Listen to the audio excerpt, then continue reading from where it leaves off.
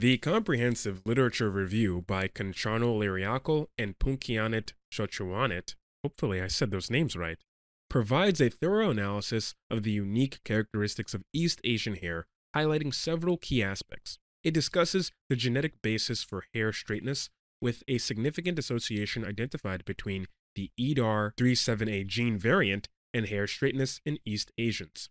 In contrast, Europeans have a different genetic influence on their hair straightness, specifically the TCHH gene variant illustrating distinct genetic pathways in different ethnicity. The study delves into hair pigmentation, focusing on the role of eumelanin and pheomelanin in determining hair color, particularly in East Asian hair. Eumelanin and pheomelanin, by the way, are two primary forms of melanin, the pigment responsible for the coloration of skin, hair, and nails in humans and other animals.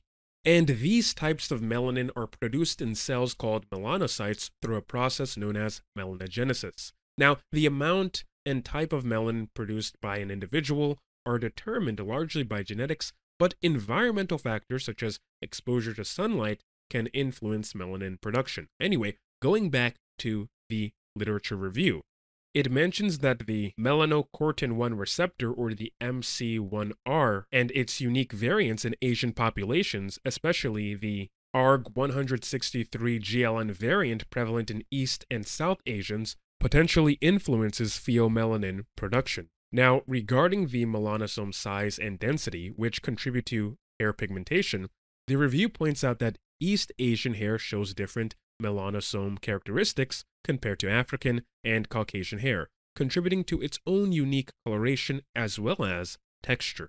Additionally, the review goes on to note that East Asian hair exhibits the fastest growth rate compared to other ethnicities, with African hair types having the slowest growth rate and Caucasian hair being somewhere in between. The study correlates these growth rates with hair structure, particularly the cuticle interscale distance, and observes that the cross sectional area of hair seems to influence its growth speed. Now, in regards to androgenetic alopecia, Suchonwanit and Leerunyakul find that studies conducted on Asian populations have reported a lower prevalence of androgenetic alopecia in male and female versions compared to Europeans. Researchers find that the onset of androgenetic alopecia in Japanese men, for example, occurs approximately 10 years slower than Europeans, and the prevalence is about 1.4 times lower in each decade.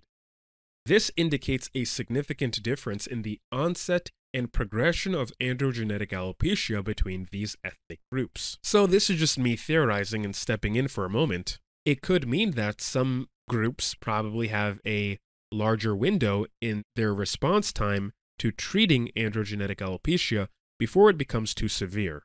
But say if you were to control for that response time and just take comparable Norwood scales, maybe that would show that people still respond similarly. But again, it's that difference in the progression rate between different groups. So, when looking at that alone, that could be an advantage for some Asian populations, but also but also some Caucasian populations too. And this difference in the rate of miniaturization can possibly manifest itself in different patterns of hair loss. Because if you remember in another video that I made about the BASP classification system, which was conceptualized to be an improved version of the Norwood Hamilton scale, we can see that in some people, they have a slower and more gradiated miniaturization response rather than the basic response as seen in the Hamilton Norwood scale, where you just progressively move through each and every single Norwood level.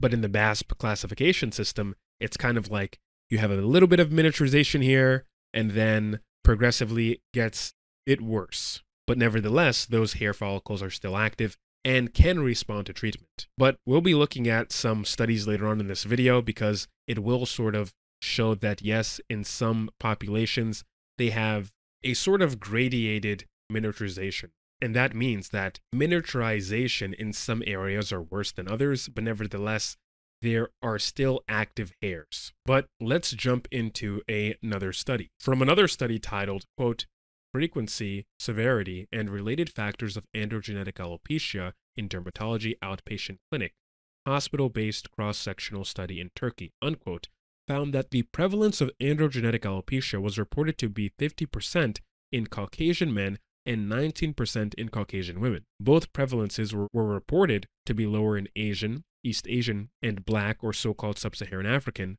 men than in Caucasian. And there are more studies that point out the difference between ethnic groups and the dynamics of their hair, or at least what it tends to be like.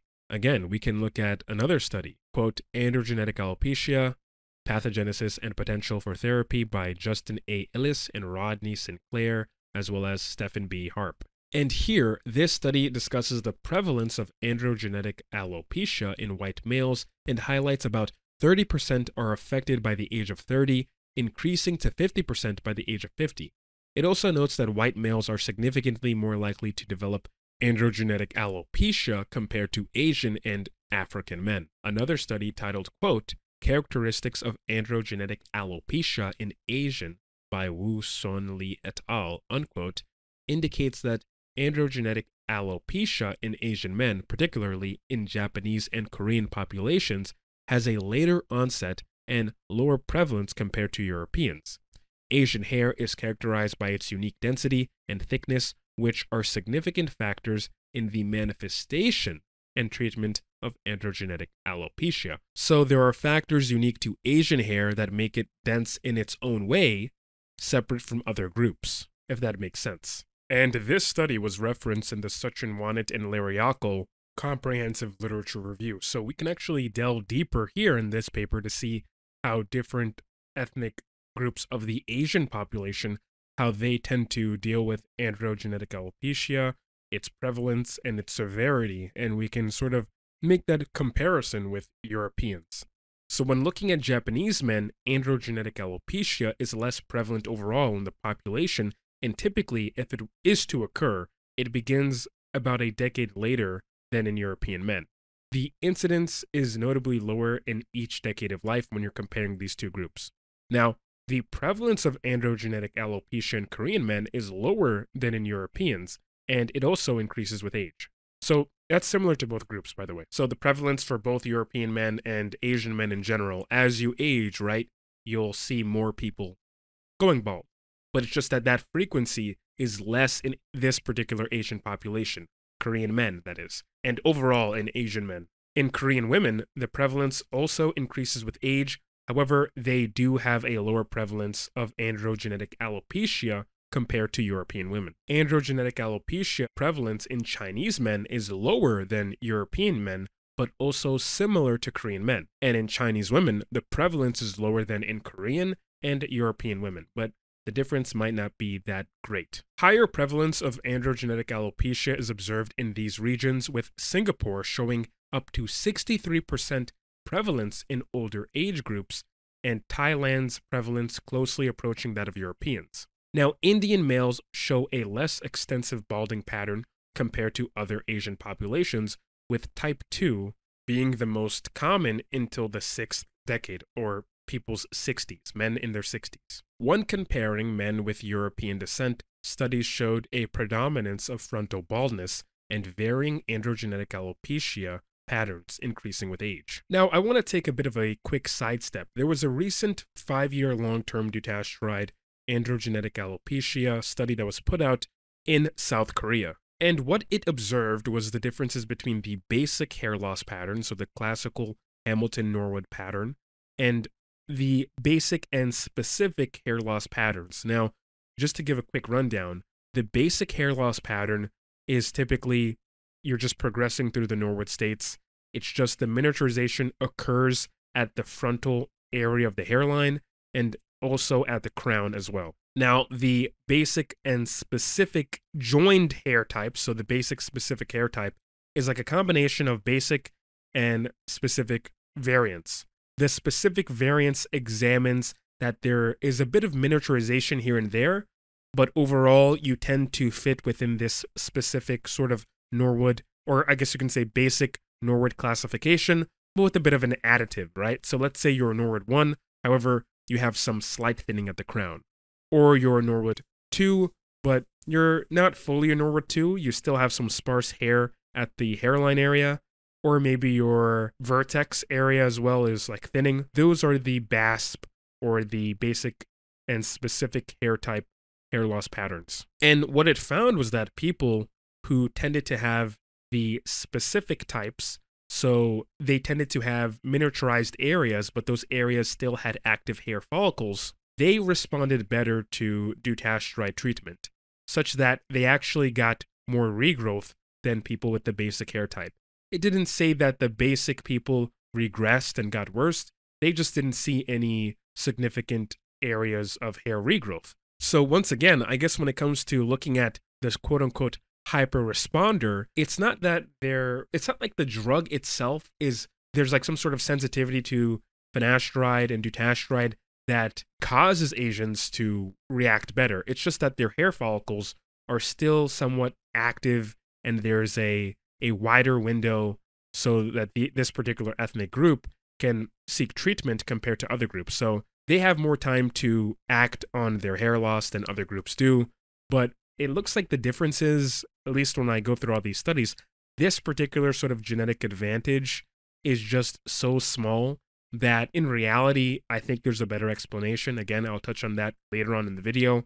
But to kind of just say that now, that explanation is mostly in the dynamics of the hair shaft that Asians have. The wide, thick hair shafts that sort of occupy more space and give a unique sort of density that when Asians do go back to their baseline anagen hair growth at comparable Norwood levels or BASP classification Norwood levels, they they tend to have a much better aesthetic look than Caucasians and even other sub ethnic groups in the Asian and Caucasian diaspora. But not to get ahead of myself, let's go back to looking at some other studies. This study titled, quote, Diversity in Human Hair Growth, Diameter, Color, and Shape by Genevieve Loussouarn and colleagues at L'Oreal Research and Innovation provides an insightful analysis into the diverse characteristics of human hair across various ethnic groups.